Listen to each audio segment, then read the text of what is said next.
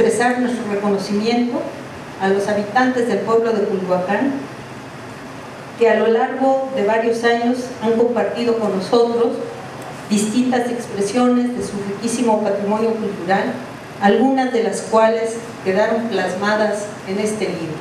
Y nos sentimos muy orgullosos de que este esfuerzo colectivo haya fructificado en un texto que les puede servir a los pobladores del pueblo originario de Culhuacán como una herramienta para valorar su patrimonio cultural, reforzar su identidad y asegurar la continuidad histórica de uno de los pueblos más antiguos de la cuenca de México. Quisiera recordar a uno de los integrantes de nuestro equipo, al maestro Francisco Zamora Quintana, y a agradecerle a este, Eric García, que fue el que hizo el diseño de este libro, que quedó muy bello.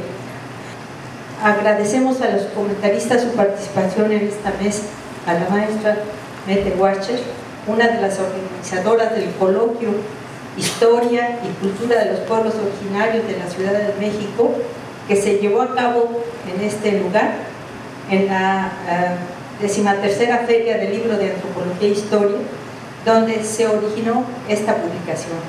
Al maestro Íñigo Aguilar, investigador de la DEAS, con una larga trayectoria en el estudio de los pueblos indígenas de México y la problemática urbana. Le, voy a dar la palabra, en primer término, a la antropóloga Mete Huache.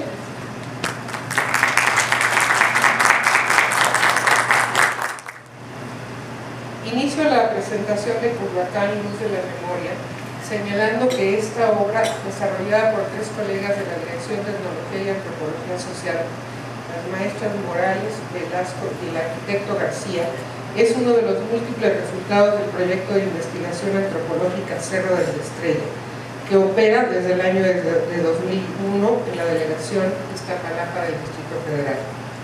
Su objetivo fundamental es proteger el entorno natural, los vestigios arqueológicos, los monumentos históricos, así como el tejido urbano en que se llevan a cabo diferentes actividades de actividad de, de, de carácter ritual, festivo y recreativo que le dan sentido de pertenencia a los pueblos de Iztapalapa, Mexicalcingo y desde luego Culhuacán.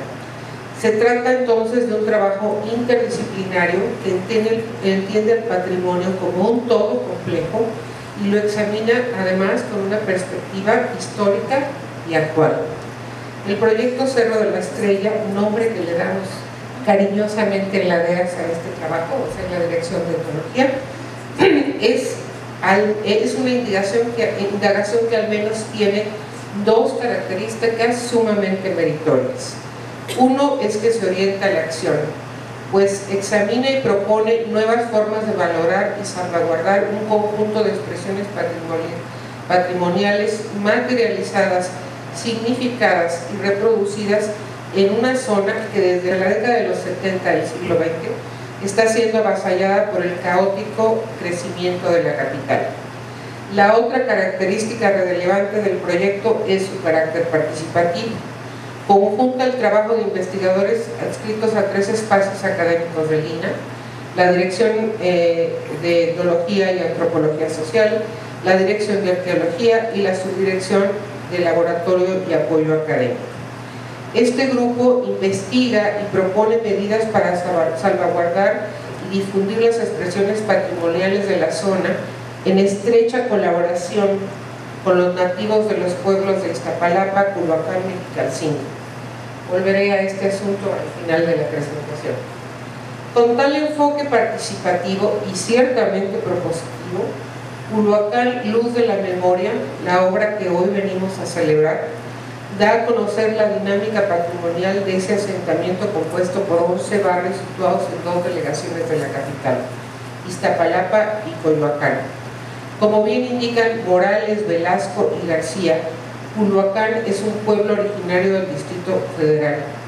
Sus raíces históricas se hunden en el pasado prehispánico y al mismo tiempo las prácticas características del lugar lo producen nociones socioculturales de esos tiempos y otras más recientes que se actualizan constantemente.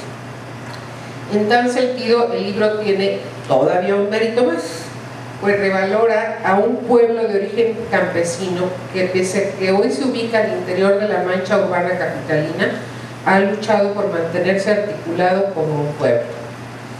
En efecto, las tierras de cultivo, cuerpos de agua y bosques de los pueblos del Distrito Federal han sido eh, eh, de los pueblos originarios del Distrito Federal han sido concebidos como una reserva para el crecimiento de la ciudad, de tal suerte que para subsistir han tenido que enfrentarse a los intereses del capital y a toda clase de corrupteles.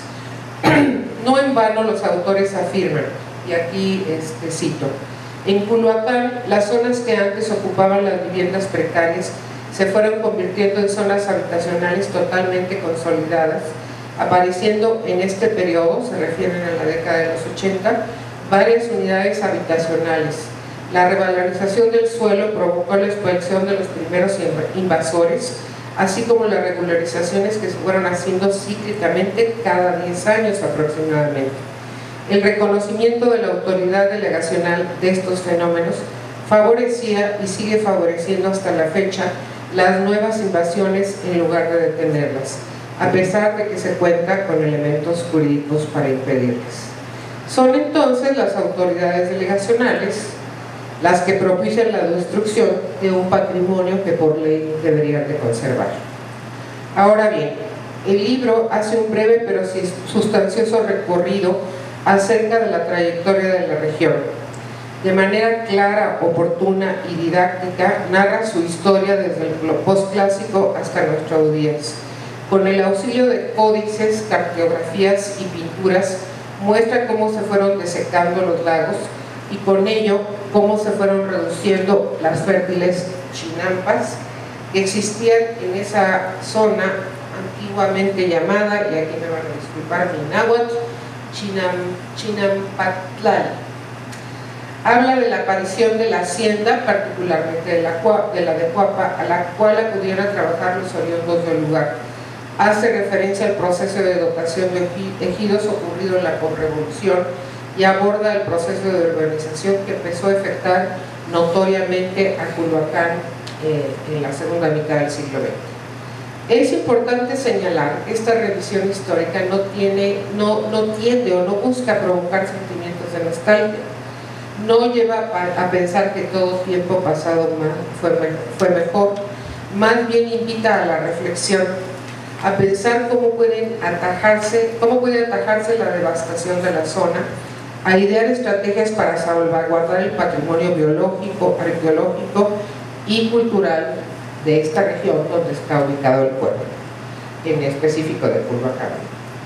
Con el sustento de excelentes registros fotográficos, Culhuacán, luz de la memoria, ilustra la riqueza de construcciones coloniales y monónicas que existen en el poblado. Como seguramente todos sabemos, estos monumentos son parte del patrimonio histórico de la nación.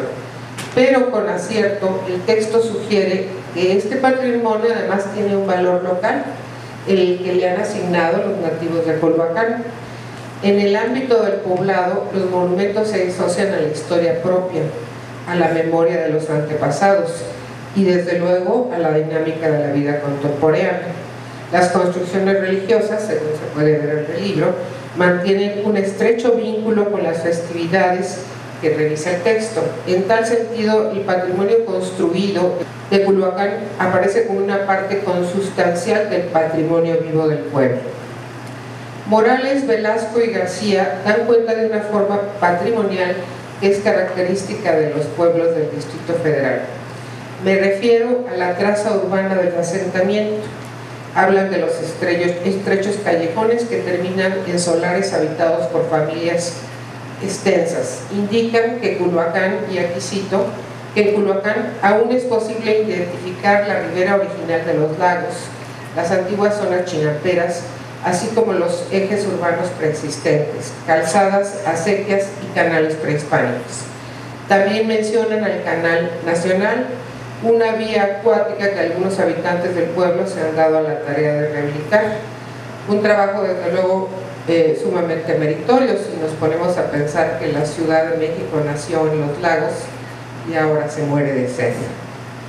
La mayor parte del libro está dedicado a las festividades religiosas de Culhuacán, a ilustrar una práctica patrimonial de largo aliento, pues con todo y transformaciones se viene realizando desde tiempos coloniales. Los autores describen y analizan la celebración de la Santísima Trinidad y Corpus Christi, dos, ceremoniales que son de eh, especial importancia para el pueblo, puesto que honran al Señor de la Cuevita, una eh, imagen, perdón, perdón, del Calvario, una imagen de, de manufactura virreinal que funge como patrono del pueblo y en consecuencia como símbolo de la existencia de Culhuacán. El registro de una actividad festiva es una tarea compleja. Múltiples factores intervienen en la realización del ceremonial. Sin embargo, los autores tomaron una sabia decisión. Eh, optaron por describir esa parte de la fiesta que casi nunca aparece en las obras de difusión. Se enfocaron en la estructura tradicional encargada de su realización, o sea, en el trabajo de las mayordomías, eh, con fotografías eh, muy significativas se ilustran las funciones que cumplen las nueve mayordomías que dan vida a la celebración de la Santísima Trinidad y Corpus Christi. Eh, con esto el, lector puede percatarse de la amplitud y complejidad de esa estructura organizativa, así como del enorme eh, esfuerzo en trabajo y gasto en dinero que implica sacar adelante esas festividades. Pero además, esta revisión muestra el papel que juega la organización del ceremonial en el proceso de reproducción socioeconómica del pueblo. Morales, Velasco y García advierten que las mayordomías constituyen una red social en la que privan relaciones de reciprocidad. Los mayordomos se convierten en, compadres y por lo tanto adquieren un vínculo parental de índole ritual esto significa que establecen un pacto de ayuda mutua que funciona más allá de la esfera religiosa. Cuidar a los hijos, a los enfermos, préstamos. De igual forma, los autores indican que las demanditas, así como los estandartes, representan y vinculan a los santos, barrios y pueblos a través de su vida ritual y festiva. Otra faceta del culto al patrono que se destaca es la elaboración de la comida. En este ámbito son las mayordomas y las ayudantas quienes desempeñan un rol social relevante en el proceso de reproducción del patrimonio cultural de Culhuacán. Al mismo tiempo que preparan la comida, transmiten a las nuevas generaciones en un ambiente de algarabía los saberes culinarios y los rituales que heredaron de los antepasados. La última parte del, eh, del libro es un registro fotográfico de un trabajo que ilustra, y valga la redundancia, el tipo de trabajo participativo que hacen los colegas de los DEAS con los mayordomos y otras personas de Culhuacán. Eh, en el libro se relata que en algún momento las personas que estábamos eh, organizando el segundo coloquio de historia y cultura de los pueblos originarios del Distrito Federal, vimos la pertinencia de una exposición que, diera contexto a la, a la, a la actividad eh, eh, académica que vamos a llevar a cabo, pero también pensábamos que pues es un poquito extraño, no decir otra cosa, que en este museo no hay nada de los pueblos originarios del Distrito Federal. Entonces, cuando menos en esos días en que suele haber más gente en el en el museo pensamos que era conveniente. Pero entonces, ¿quién lo iba a hacer? El único grupo de investigadores que estaba, eh, que tenía esa posibilidad, que había establecido un vínculo eh, estrecho y de colaboración con las gentes, las personas con las que trabajaba, era el grupo del Cerro de la Estrella. Me refiero a María Elena Morales, a Ana María Luisa Velasco, y al arquitecto García. Ellos levantaron la mano y dijimos, dijeron, ¿podemos ver? Y el podemos ver se convirtió en una exposición sumamente interesante, visitada, y el día de la y, bueno, con muchísimo trabajo atrás, ustedes pueden verlo en las fotografías, y el día de la inauguración fue un día de júbilo y de mucho gusto. Eh, yo como una de las organizadoras, no, del, no, del, no de la exposición, sino del evento académico, a las personas de Culhuacán les quiero dar las gracias por habernos apoyado en esa actividad. Gracias. Fuiste parte actora de esta exposición. Qué bueno que hoy compartimos esta mesa. Ahora le voy a dar la palabra al profesor de investigación, también de la Dirección de Etnología y Antropología Social del Instituto Nacional de Antropología e Historia, a José Íñigo Aguilar Medina. Gracias. Más que hablar sobre el contenido del libro, yo quiero manifestarles lo que provocó en mí la lectura de ese libro pienso que la invitación en esta presentación es a que adquieran el libro y lo lean. Eh, creo que es un libro que va a provocar en ustedes una serie de, de ideas y de reflexiones en torno al tema que trabaja. En primer lugar, les quiero relatar cómo es que el libro que nos ocupa y el tema que desarrolla están mezclados con mi propia vida. Al respecto, debo decir que tengo la encomienda de presentar un libro que, de manera muy grata, ha movido mi imaginación y varios de mis recuerdos que ahora descubro placenteros y que creí haber perdido hace tiempo. Pues el libro se refiere a una trama que no solo se relaciona con mi labor de cada día, la antropología, sino que al mismo tiempo está entretejido con los anhelos que guían mi vida cotidiana, la religión y la cultura. Pero además, el espacio que ocupa el pueblo de Culhuacán me es muy significativo porque existió como parte importante del paisaje dentro del cual transcurrió mi niñez y asimismo fue por unos años, que ahora me parecen muy breves y lejanos, el sitio al que acudí para ocuparme de las tareas que mi trabajo me prescribe. Así, he vuelto a mirar con los ojos del recuerdo desde la ventana de mi salón de clases del primer año de primaria las pequeñas canoas que desde la zona chinampera, situada entonces fuera de los márgenes de la ciudad, y que partiendo o solo pasando por el pueblo de Culhuacán, viajaban por el canal nacional hasta llegar a las márgenes del poblado de Mexicalcingo, de donde ignoro con qué rumbo seguían. Si continuaban por el canal nacional hasta alcanzar el río Churubusco, o si se cambiaban de la viga. Lo que sí retengo es que iban llenas de productos agrícolas y de flores que, que retornaban vacías.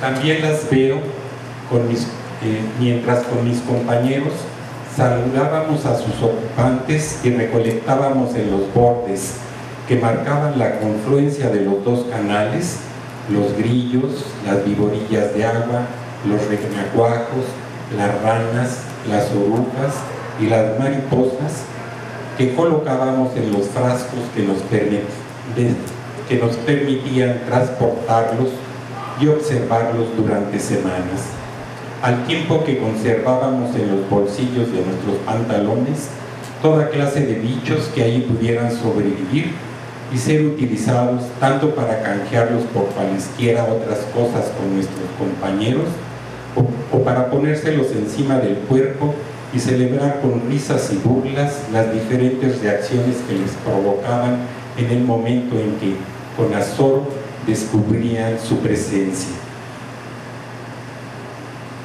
De igual manera, he podido recrear la imagen del puente que era necesario usar para cruzar el canal de la Viga cuando se viajaba por la calzada Ermita Iztapalapa. Era pequeño, estrecho, todo de piedra y bajito, diferente al que había en el pueblo de Joco, que permitía salvar el río Churubusco para entrar a Coyoacán, que aunque angosto y de piedra, era alto, largo y muy empinado. Asimismo, distingo las manadas de caballos enjutos que conducidos por sus pastores interrumpían acompañados con el ruido de sus cascos y con una gran polvareda nuestros partidos de fútbol desarrollados en el patio de la escuela, el que por cierto se prolongaba por unos dos kilómetros hasta llegar al Cerro de la Estrella, pues el recinto carecía de muros limítrofes, lo que nos permitía ir de paseo entre sembradillos y baldíos y sin cruzar ninguna otra calle pavimentada que no fuera la de México Tulyehualco, ahora llamada Tláhuac, hasta la cresta del cerro.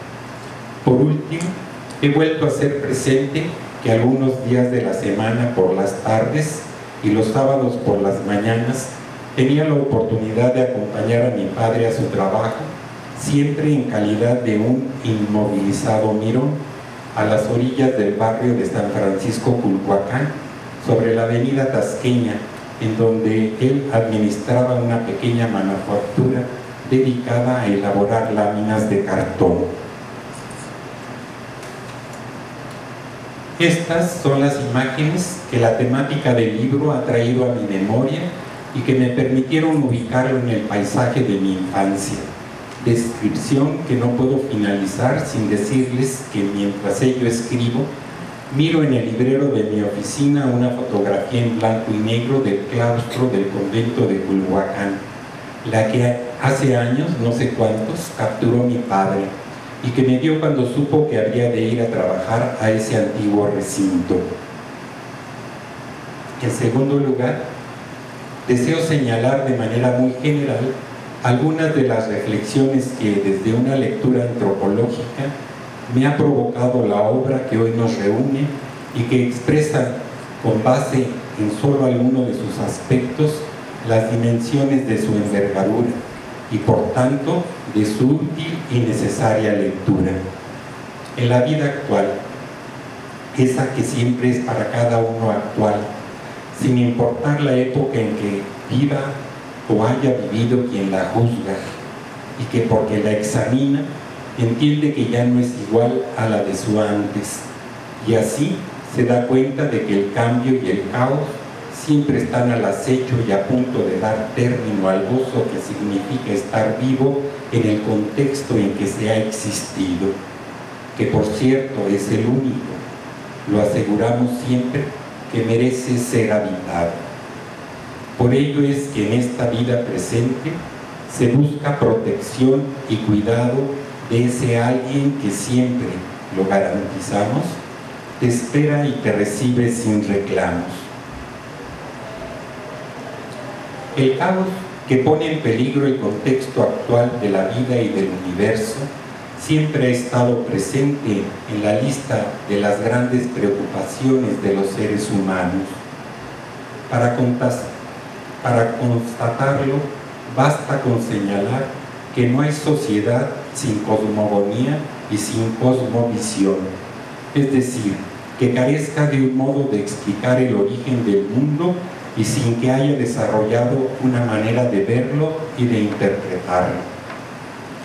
Somos por esencia unos seres empedernidamente cosmogónicos y cosmovisionarios,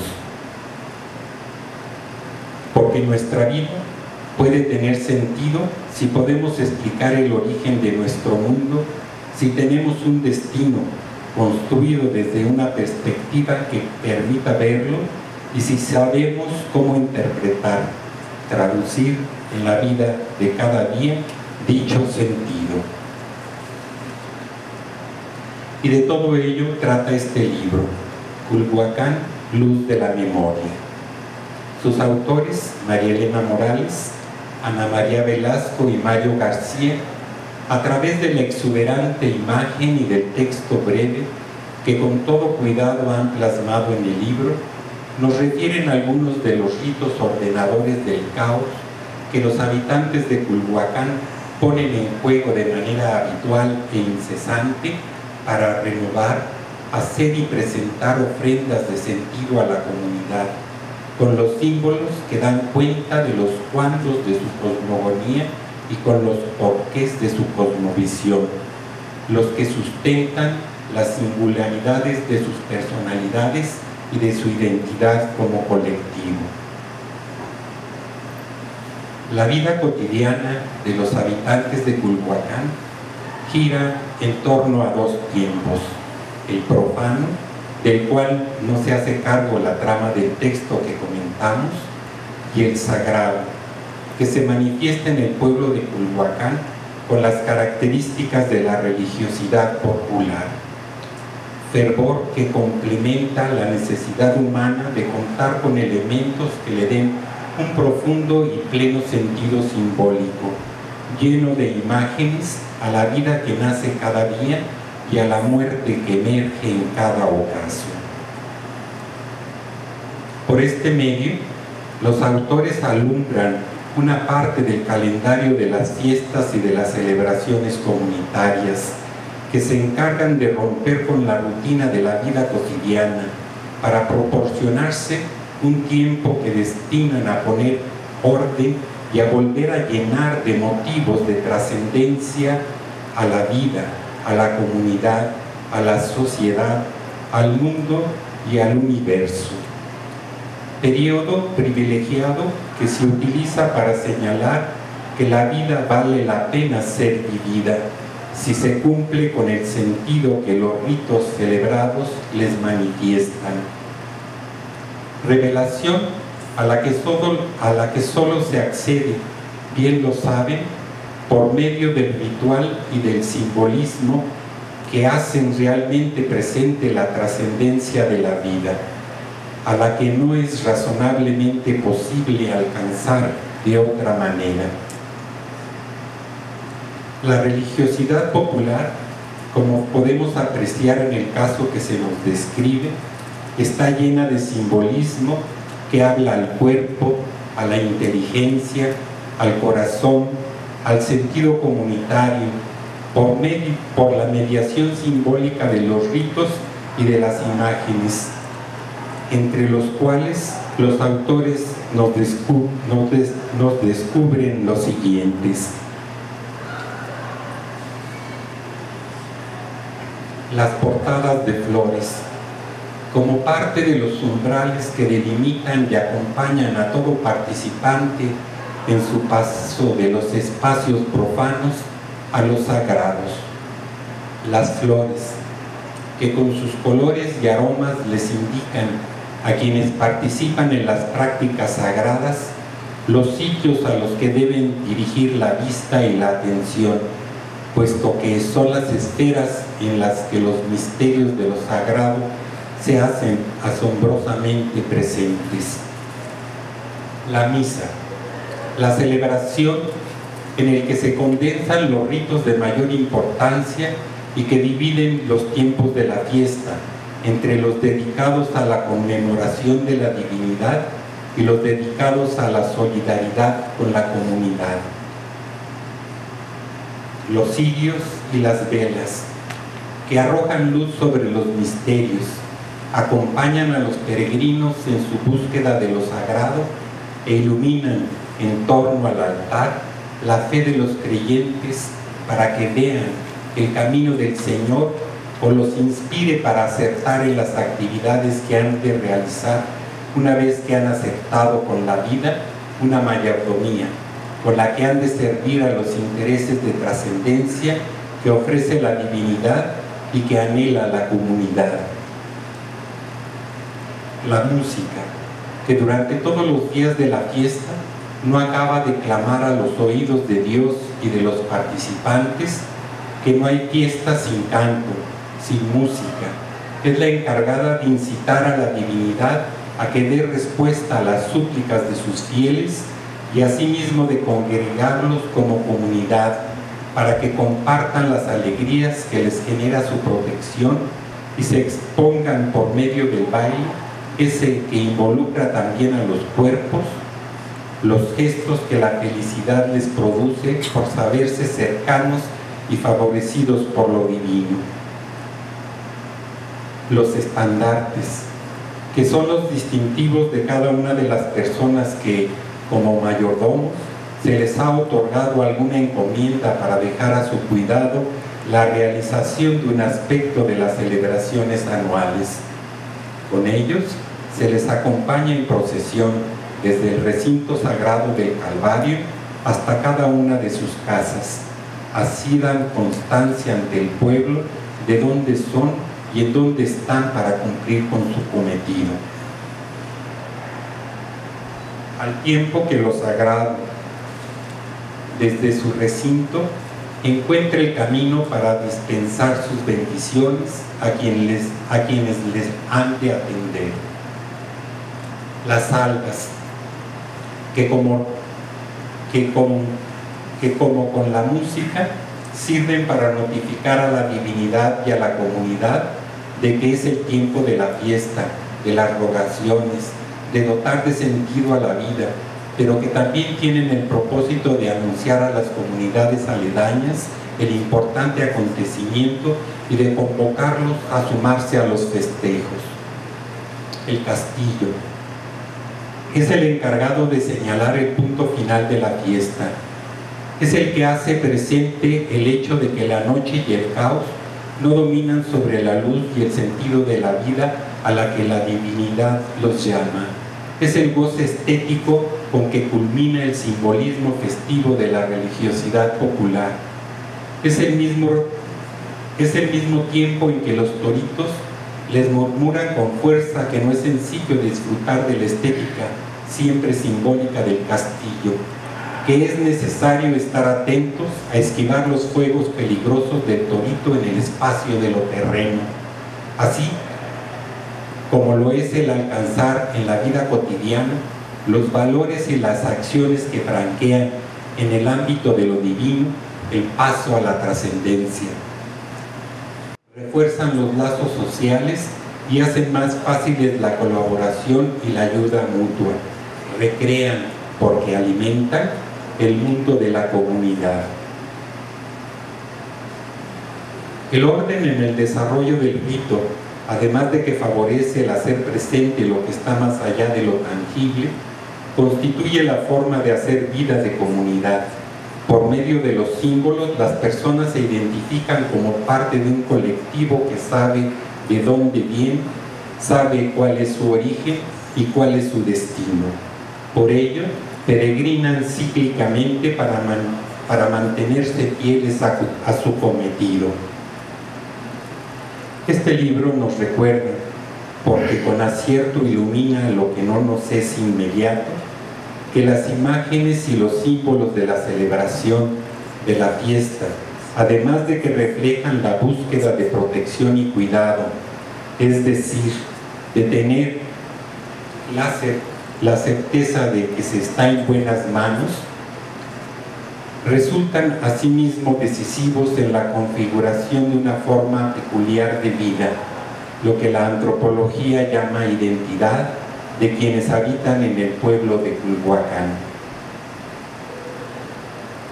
Agradezco a los autores del trabajo realizado el que ha hecho posible esta hermenéutica que desde la religiosidad popular nos muestra lo inmediatamente ausente, según la lectura de los sencillos, que con sabiduría saben hacer a un lado los valores del fundamentalismo capitalista con los que se quiere imponer al ídolo mercancía sobre la base del más feroz de los individualismos para en cambio darle sentido de trascendencia y de comunidad a la vida de cada día. Gracias.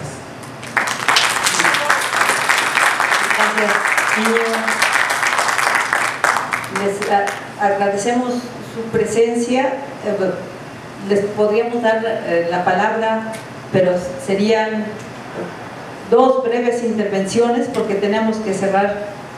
Maestra Agapita, por favor.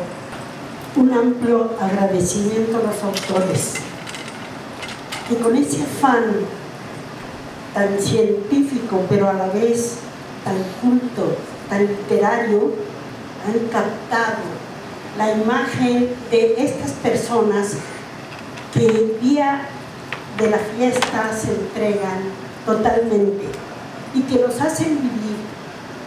Gracias también al historiador que nos recordó tanto en nuestro canal, nos recordó tanto esos viajes que usted hizo y que los de Milpalta y Xochimilco y Tláhuac nos decían los tritones, los comelones, los, ah, eres tú de Xochimilco, sí, tú nos recuerdas, sí, como no voy a recordar, si ustedes eran los que nos pedían allí eh, en las orillas del canal nacional, que ustedes tenían tanto y todavía se atrevían a decir, me regala una lechuga y nos aventaban las lechugas.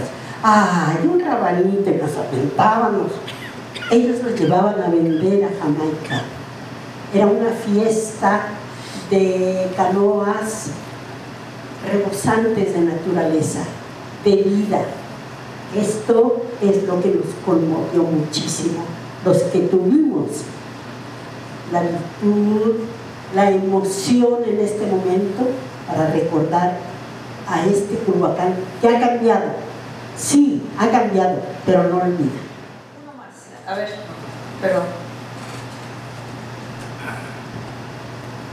Muy brevemente, muchas gracias por este trabajo. Yo nací en, los siete barrios de Iztacalco y ahorita viendo estas imágenes me parecen un reflejo eh, exactamente igual de la misma vida cotidiana que se vive en Iztacalco. Yo recuerdo mi niñez y mi adolescencia y veo exactamente estas mismas imágenes.